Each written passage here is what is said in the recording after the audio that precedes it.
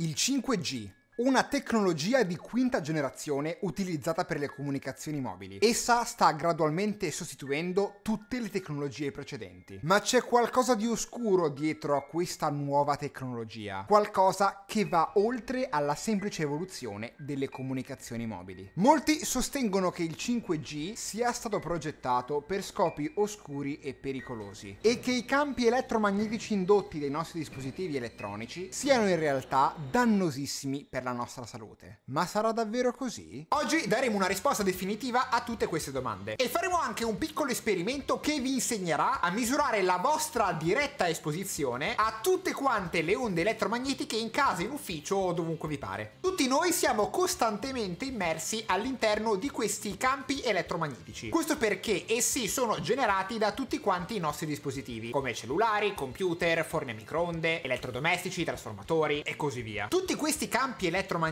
sono in realtà composti da campi magnetici e campi elettrici, come suggerisce il nome. E se volessi spiegare a un bambino di 5 anni come funziona questa roba, gli direi molto banalmente che all'interno dei fili che utilizziamo nei nostri dispositivi, quando una corrente elettrica si sta muovendo al suo interno, si genera in realtà contemporaneamente anche un campo magnetico. Quindi possiamo dire che i campi elettrici e i campi magnetici sono davvero dovunque e si influenzano in maniera mutuale costantemente nel tempo. E molti di voi ora si chiederanno, va bene Dani, ho capito che esistono i campi elettrici e i campi magnetici, ma questa roba fa male? Come facciamo noi a vedere questi affari? Purtroppo dovete fidarvi delle mie parole, perché i campi elettromagnetici non sono visibili ad occhio nudo. O meglio, essendo le onde elettromagnetiche delle radiazioni di energia, esse sono generalmente invisibili all'occhio umano. Alcune di esse però possono essere percepite sotto forma di luce, come ad esempio la luce del sole.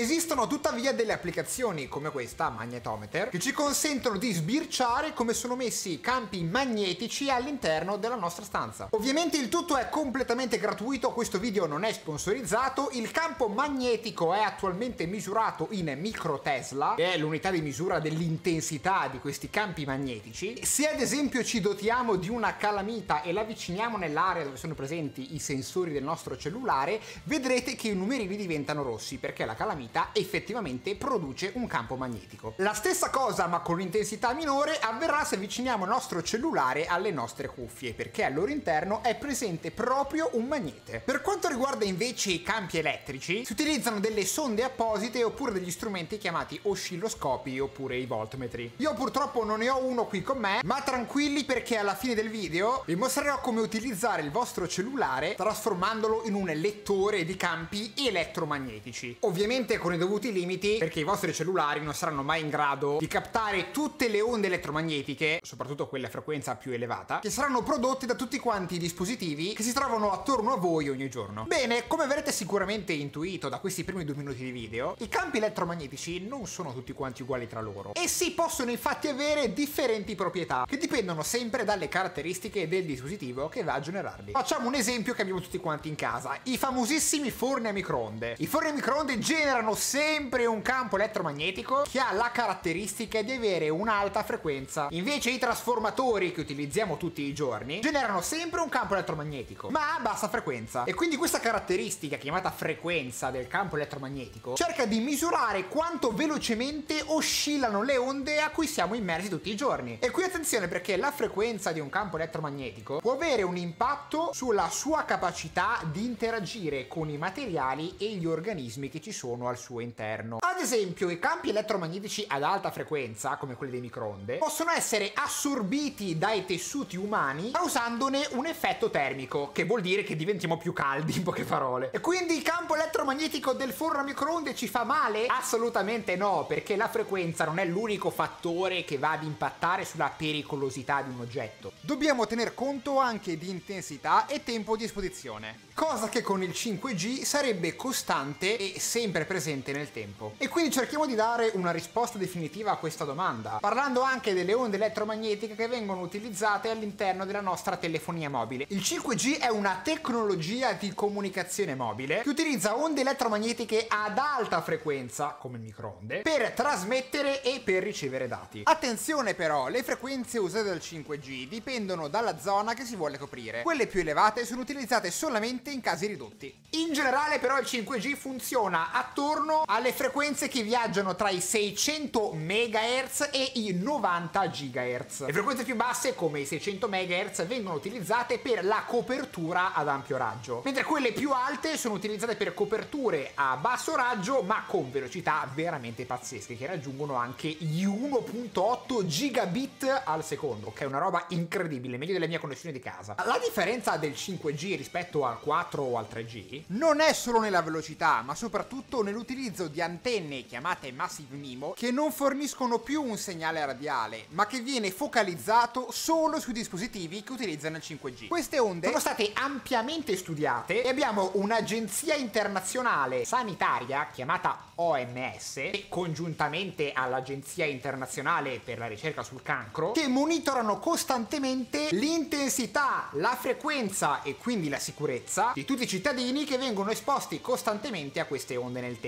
Ad oggi ragazzi non esistono delle prove scientifiche che dimostrino che l'esposizione alle onde elettromagnetiche di questa tipologia comporti rischi per la salute umana. Le uniche radiazioni dannose sono dette ionizzanti e utilizzano frequenze davvero altissime se paragonate a quelle del 5G. Ma c'è una piccola postilla a queste dimostrazioni e a questi studi, ovvero che questi livelli di esposizione siano al di sotto di limiti molto stringenti che vengono stabiliti però da delle linee guida internazionali. È quindi compito di tutti coloro che decidono di installare un'antenna del 5G di rispettare questi stringenti limiti che sono nati da un attento studio sulla biologia e sulla fisica dei corpi immessi all'interno di questi campi elettromagnetici. Quindi c'è da preoccuparsi? La chiave per capire se un campo elettromagnetico nocivo per l'uomo risiede nell'intensità e nella durata dell'esposizione al campo stesso. Sebbene la frequenza delle onde del 5G sia molto elevata, l'intensità generata dal campo di questa fantomatica rete di nuova generazione è talmente bassa e si trova talmente sotto a livello di limiti rispetto a quello che impone la legge che o ci stanno mentendo tutti oppure possiamo davvero dormire dei sonni tranquilli.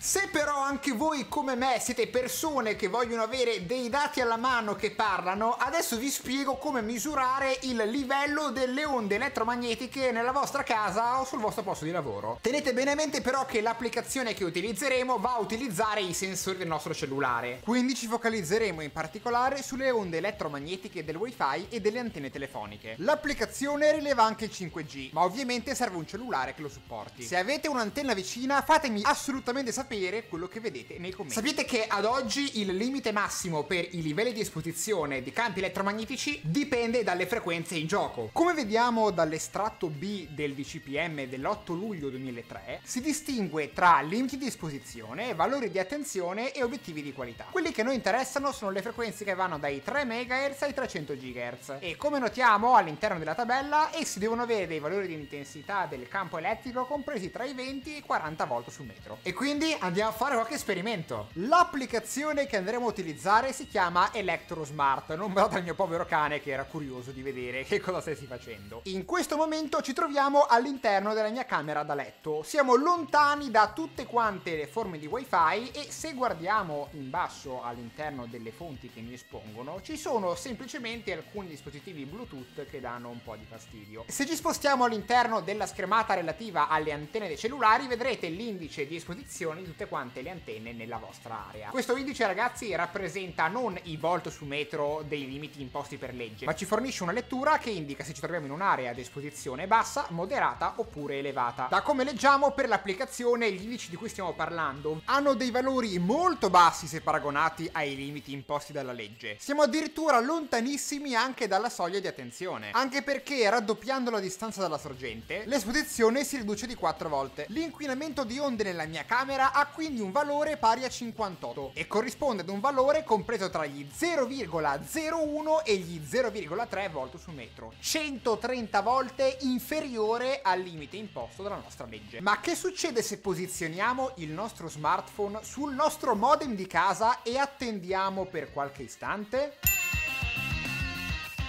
Come vedete il valore dell'indice è passato quasi subito a 87, il ciò indica un rischio di esposizione molto elevato. Ovviamente nessuno di noi dorme con un modem sotto al cuscino, ma se volete ulteriori informazioni sulle sorgenti inquinanti della vostra area, l'applicazione vi fornisce tutti quanti i dettagli del caso. Quindi il mio consiglio è quello di non piazzare il modem all'interno della stessa camera in cui magari dormite. Mettetelo come me in cucina in un luogo in cui passate relativamente poco tempo. La situazione nel caso del 5G sarà abbastanza simile. Anzi, Anzi, vi dirò di più. Utilizzando queste antenne in grado di irradiare in maniera mirata solamente i dispositivi che utilizzano questa tecnologia, l'effetto medio del campo elettromagnetico sarà addirittura inferiore rispetto ai livelli del 4G. Ok, dire che abbiamo finito. Questo video ha richiesto più di 25 ore per essere realizzato. Se volete altri video come questo, lasciate in questo momento un bel like e diffondiamo finalmente in Italia un po' di informazione fatta correttamente. Inviate questo video a tutti i vostri vostri amici complottisti che credono che il wifi,